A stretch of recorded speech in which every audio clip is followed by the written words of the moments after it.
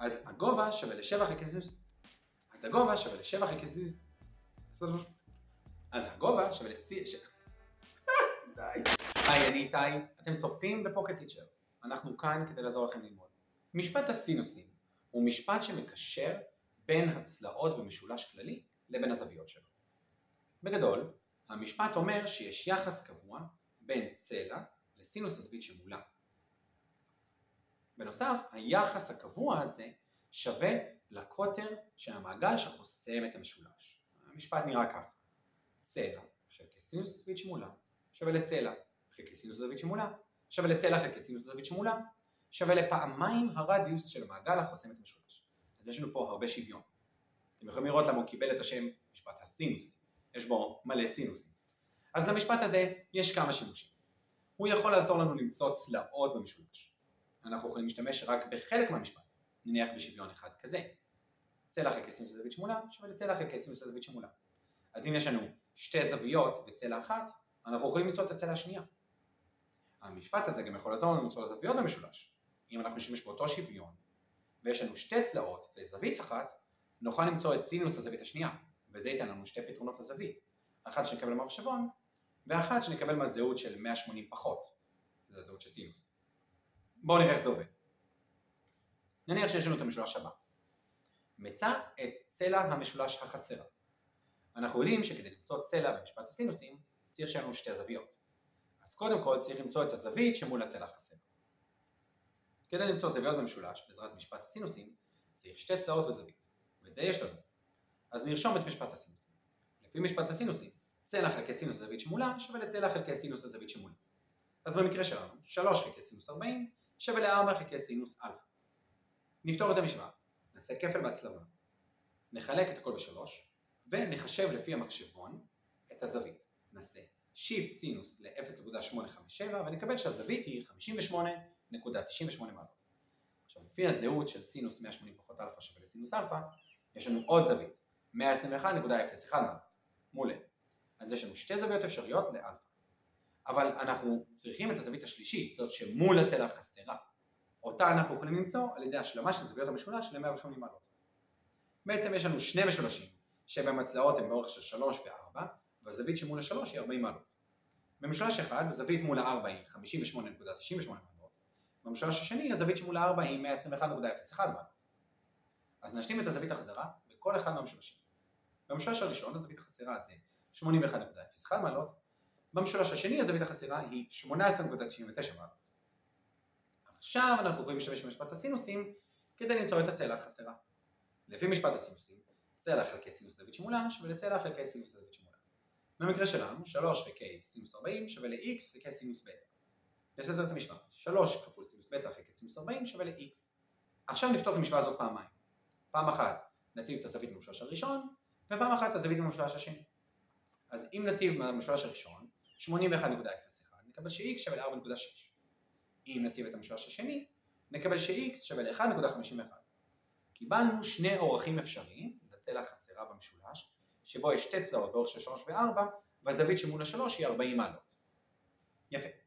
אז ראינו כאן את השימוש העיקרי של משפט הסינוסים, למצוא מידע חסר על משולשים.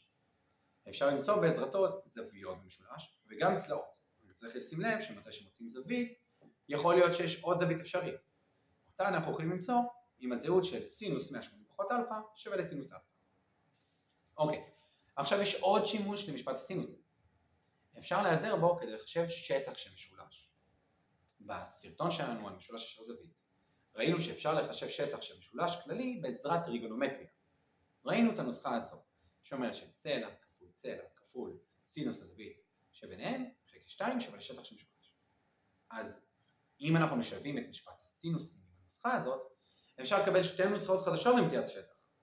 הנוסחה הראשונה היא כזאת, שטח של משולש שווה לצלע בריבוע כפול סינוס של כל אחת מהזוויות שלידה, חלקי פעמיים סינוס הזווית שמולה. זה אומר שהשטח שווה ל-a בריבוע כפול סינוס בטא כפול סינוס גמא חלקי פעמיים סינוס אלפא. זאת אומרת שאם יש לנו צלע אחת ואת כל הזוויות, אנחנו יכולים למצוא את השטח. הנוסחה השנייה היא כזאת, שטח של משולש שווה לפעמיים הרדיוס של המעגל החוסם את המשולש בריבוע כפול סינוס כל אחת מזוויות המשולש. במילים אחרות, השטח שווה לשתי r בריבוע כפול סינוס אלפא כפול סינוס בטא כפול סינוס גמא. אז כאן אין לנו אף צלע של המשולש, אבל אם יש לנו את רדיוס המעגל החוסם ואת כל הזוויות, אנחנו יכולים למצוא את השטח של המשולש. בואו נראה דוגמה איך כל זה עובד. נניח שיש לנו את המשולש הבא. הישר שעובר במשולש הוא חוצה זווית באורך של 20. מצא את היחס בין שטחי המשולשים שנוצרו על ידי חוצה הזווית. אוקיי, אז כדי למצוא את היחס בין השטחים, אנחנו קודם כל צריכים למצוא את השטחים של כל אחד מהמשולשים. נסתכל על שתי הנוסחאות החדשות שיש לנו. אנחנו רואים שאין לנו פה מעגל ורדיוס, אז לא נסתכל על הנוסחה הזאת, נסתכל על הנוסחה השנייה. אנחנו רואים שהשטח של המשולש זה צלע בריבוע כפול סינוס שתי הזוויות שלידו חלקי פעמיים סינוס הזווית שמולו. כדי להשתמש בנוסחה הזאת אנחנו צריכים לדעת צלע אחת ושלוש זוויות. ובאמת, בכל משולש יש לנו צלע אחת. חוצה הזווית הוא נתון לנו באורך של 20. אז אנחנו צריכים למצוא את הזוויות של המשולש. במשולש הגדול יש לנו שתי זוויות. אנחנו יכולים למצוא את הזווית השלישית על ידי השלמה ל-180 מעלות. במקרה הזה, הזווית תהיה 60 מעלות. עכשיו, בגלל שהישר הוא חוצה זווית, אז כל חלק של הזווית זה 30 מעלות. באותו אופן נוכל עכשיו להסתכל על כל אחד מהמשולשים הקטנים ולהשלים את הזווית החסרה. במשולש הימני הזווית החסרה היא 110, במשולש השמאלי הזווית החסרה היא 70. עכשיו בכל אחד מהמשולשים יש לנו צלע ושלוש זוויות, אז אנחנו יכולים להשתמש בנוסחה של השטח. שימו לב, השטח שווה לצלע בריבוע כפול סינוס כל אחת מהזוויות שלידו חלקי פעמיים סינוס הזווית שמולו. אז הסדר של הזוויות כאן הוא חשוב. נתחיל עם המשולש הימני. השטח של המשולש הימני נקרא לו משולש מספר 1 שווה ל-20 בריבוע כפול סינוס 110 כפול סינוס 30 חלקי פעמיים סינוס 40. נחשב את כל זה במחשבון, כי כל הדברים האלה הם מספרים, ונקבל שהשטח של המשולש הראשון זה 146.17. נמשיך עם המשולש השמאלי. השטח של המשולש השמאלי זה 20 בריבוע כפול סינוס 70 כפול סינוס 30 חלקי פעמיים סינוס 80. קיבלנו כאן 95.40. עכשיו כדי למצוא את היחס אנחנו נחלק את השטחים האלה. נרשום 146.17 חלקי 95.40. במקרה הזה היחס הוא 1.53. מצאנו את היחס בין שטחי המשולשים. אוקיי, אז כאן ראינו איך משתמשים בנוסחה למציאת שטח שמשולש בעזרת צלע אחת ושלוש זוויות. אם לא הייתה נתונה לנו הצלע, ובמקום זה היה לנו את הרדיוס, היינו משתמשים בנוסחה השנייה. יפה. אז ראינו את השימושים העיקריים של משפט הסינוסים. עכשיו, משפט הסינוסים יכול לשמש אותנו בכל מקום שבו יש משולשים. לדוגמה, גם בבעיות עם משולשים בתוך מעגל, או מרובעים שאפשר לפרק אותם למשולשים. אנחנו נראה עכשיו דוגמה עם מרובעים. את המעגלים נראה בסרטון אחר. נתונה המקבילית הבאה. מצא את אורכי צלעות המקבילית. כדי למצוא את x, אנחנו יכולים להשתמש במשפט הסינוסים על כל אחד מהמשולשים שמרכיבים את המקבילית. נניח נסתכל על המשולש התחתון. נשלים בו את הצלע התחתונה, גם היא באורך x ועוד 8, כי הצלעות הנגדיות במקבילית שוות. בנוסף אנחנו יכולים לראות שהזווית החדה השנייה שלו היא 50 מעלות, כי זו זווית מתחלפת בישרים מקבילים, הימני והשמאלי. אז יש לנו משולש עם שתי זוויות ושתי צלעות. נשתמש במשפט הסינוסים. צלע חלקי סינוס זווית שמולה שווה לצלע חלקי סינוס זווית שמולה. במקרה הזה x חלקי סינוס 30 שווה ל-x ועוד 8 חלקי סינוס 50. נכפיל בהצלבה, נחשב מה זה סינוס 30 ומה זה סינוס 50, נפתור את המשוואה ונקבל ש-x שווה ל-15. אז אורך הצלע הקטנה זה 15, ואורך הצלע הגדולה זה 15 ועוד 8, שזה 23. יפה. אז ראינו איך פותרים בעיה עם מקבילית, בעזרת משפט הסינוסים. בעצם, בגלל שכל מרובע אפשר לפרק למשולשים, ובגלל שמשפט הסינוסים עובד בכל משולש, אנחנו נוכל להשתמש במשפט הסינוסים כדי לפתור הרבה מאוד סוגים של בעיות. עם כל סוגי המרובעים, ואפילו עם מעגלים. עכשיו, לפני שאנחנו עוברים ללמוד על משפט הקוסינוסים, חשוב לי להזכיר, אם משהו לא ברור, בבקשה תשאלו אותנו. אתם יכולים לרשום לנו תגובה בסרטון, או להיכנס לאתר ולשאול אותנו שם. אנחנו משתדלים לענות לכל התגובות שלכם, אז באמת תרגישו חופשי. קדימה, משפט הקוסינוסים. אם משפט הסינוסים היה עם סינוסים, אתם יכולים לנחש שמשפט הקוסינוסים יהיה עם קוסינוסים. גם משפט הקוסינוסים עובד על כל משולש, אז נחזיר רגע את המשולש הכללי שלנו, זה שאנחנו לא יודעים עליו כלום, ונראה מה משפט הקוסינוסים אומר. הוא אומר כך, צלע במשולש בריבוע שווה לצלע אחרת בריבוע ועוד הצלע השלישית בריבוע פחות פעמיים מכפלת הצלעות האחרות כפול קוסינוס הזווית שביניהן. זאת בעצם דרך למצוא את אורך של צלע אחת במשולש אם נתונות לנו שתי הצלעות האחרות והזווית שביניהן. אפשר גם לסדר אותו בצורה שונה, ולקבל שקוסינוס הזווית בין שתי צלעות שווה לסכום ריבועי הצלעות שליד הזווית, פחות ריבוע הצלע שמול הזווית חלקי פעמיים מכפלת הצלעות שליד הזווית. או במתמטיקה, קוסינוס של הזווית גמא זה a בריבוע ועוד b בריבוע, פחות c בריבוע חלקי פעמיים ab. בצורה הזו, אם יש לנו שלוש צלעות במשולש, אנחנו יכולים למצוא את הזוויות של המשולש, שזה משהו שלא היה עד עכשיו. זאת הדרך היחידה בעצם למצוא זווית אם יש לנו רק צלעות. אנחנו יכולים לעשות את זה גם עם כל אחת מזוויות המשולש. זאת הגדולה של משפט הקוסינוס. זה המשפט היחיד שמאפשר לנו את הדבר הזה. עכשיו שימו לב למקרה מיוחד, נסתכל עוד פעם על משפט הקוסינוסים בצורה המקורית שלו. C בריבוע שווה ל-a בריבוע ו-b בריבוע פחות פעמיים ab קוסינוס גמא. עכשיו מה קורה אם גמא, הזווית בין a ל-b, היא 90 מעלות? נרשום את המשפט ונרשום קוסינוס 90 מעלות. עכשיו אנחנו יודעים שקוסינוס 90 מעלות זה 0, אז בעצם אפשר לרשום את משפט הקוסינוסים ככה, c בריבוע שווה ל-a בריבוע ו-b בריבוע פחות פעמיים ab כפול 0. אז את זה אנחנו יכולים לגמרי להעלים ולרשום ש-c בריבוע שווה ל-a בריבוע ועוד b בריבוע. וזה משפט שאמור לראות לכם מוכר, זה משפט פיתגורס. באמת, אם יש לנו משולש עם זווית של 90 מעלות בין a ל-b, אז a בריבוע ועוד b בריבוע הם ניצבים של משולש ישר זווית, והמשולש מקיים את משפט פיתגורס. אז בעצם, משפט פיתגורס זה מקרה פרטי של משפט הסינוסים. זה המשפט הכללי יותר.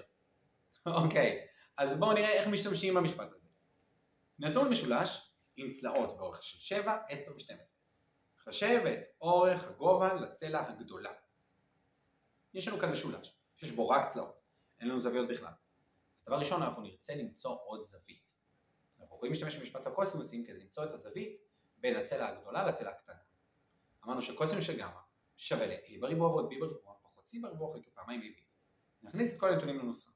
קוסינוס של גמא במקרה שלנו שווה ל-12 בריבוע ועוד 7 בריבוע פחות 10 בריבוע חלקי 2 כפול 12 כפול 7. שזה 93 חלקי 168, או אחרות בסביבות ה-55, זאת אומרת שגמא שווה ל-56.38 מעלות. עכשיו נסתכל במשולש השמאלי, משולש ישר זווית, כי נתון שהישר הזה זה גובה. יש לנו את אחת הזוויות החדות, אז נוכל להשתמש במשפט הסינוסים כדי למצוא את אורך הגובה. לפי משפט הסינוסים, צלע חלקי סינוס הזווית שמולה שווה לצלע חלקי סינוס הזווית שמולה. במקרה שלנו הגובה חלקי סינוס 56.38 שווה ל-7 חלקי סינוס 90.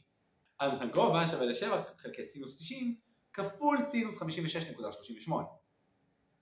שזה בעצם אומר שהגובה שווה ל-5.83. מצאנו את הגובה לצלע גדולה במשולש. אז במשפט הקוסינוסים אפשר להשתמש בשני מקרים. אם יש לנו שלוש צלעות ורוצים למצוא איזושהי זווית, או אם יש לנו שתי צלעות והזווית שביניהן, ואנחנו רוצים למצוא את ערך הצלע השלישית. הרבה פעמים אנחנו נעשה שילוב במשפט הסינוסים ובמשפט הקוסינוסים. גם במשפט הקוסינוסים נראה שילובים עם כל שאר הדברים שלמדנו. לפעמים שילוב עם זהויות, בדרך כלל זהות של קוסינוס 180 מינוס אלפא שווה למינוס קוסינוס אלפא, מתי שיש לנו זוויות צמודות. וגם אנחנו נראה שילובים עם צורות אחרות כמו מרובעים ומעגלים. בואו נראה דוגמה. נתון הטרפז הבא. מצא את הזווית המסומנת ואת אלכסון המסומן. נתחיל במציאת הזווית. אמרנו שכדי להשתמש במשפט הקוסינוסים למציאת זווית צריך שלוש צלעות במשולש, אבל כאן יש לנו רק שתיים. אז נעשה כאן טריק קטן. ונעלים לרגע את האלכסון הזה. אל תדאגו, אנחנו נחזיר אותו עוד שנייה. עכשיו תראו את הטריק. מה יקרה אם נעביר ישר שמקביל לשוק הקטנה של הטרפז בין שני הבסיסים שלו? בעצם אנחנו מקבלים כאן מרובע עם שתי זוגות צלעות נגדיות מקבילות. או במילים אחרות, מקבלים מקבילית. עכשיו בגלל שזה מקבילית אנחנו יכולים לרשום את אורכי הצלעות. זה אותם אורכים כמו הצלעות הנגדיות. אז במשולש הקטן שקיבלנו בצד נוכל להשלים את אורך הבסיס כדי שישלים את אורך כל הצלע, במקרה הזה 6. עכשיו יש לנו משולש, שיש בו את כל הצלעות. והזווית זה בדיוק אותה זווית, כי אותה אנחנו לא שינינו בכלל. אז אנחנו יכולים למצוא את הזווית הזאת בעזרת משפט הקוסינוס.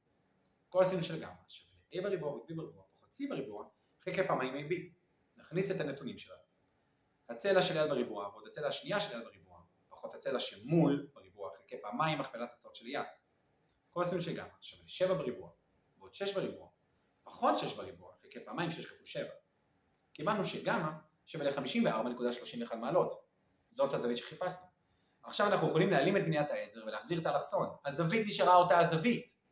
אז יש לנו כאן משולש, שיש לנו בו שתי צלעות והזווית שביניהם. ואנחנו רוצים למצוא את הצלע שמול. זה בדיוק מתאים משפט הקוסינוס. אז נרשום c בריבוע שווה ל-a בריבוע ועוד b בריבוע פחות 2ab כפול קוסינוס גמא. במקרה שלנו נציב c בריבוע שווה 7 בריבוע ועוד 10 בריבוע פחות 2 כפול 7 כפול 10 כפול קוסינוס של 54.31. נחשב את הכל במחשבון ונקבל ש-c שווה ל-8.2. מצאנו את האורך של האלכסון. אני רוצה להגיד לכם תודה שצפיתם. אני מקווה שעכשיו אתם באמת מבינים טוב יותר את המשפטים הטריגונומטריים. אז שיהיה בהצלחה.